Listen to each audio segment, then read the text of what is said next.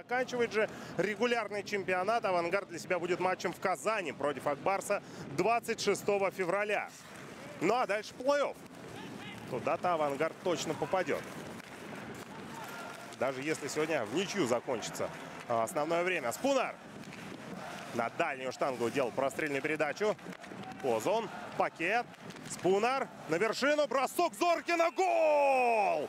1-0, Минская Динамо выходит вперед, прозевали подключение Никиты Зоркина, игроки Авангарда. И Зоркин пятую шайбу за Минское Динамо в этом сезоне забивает.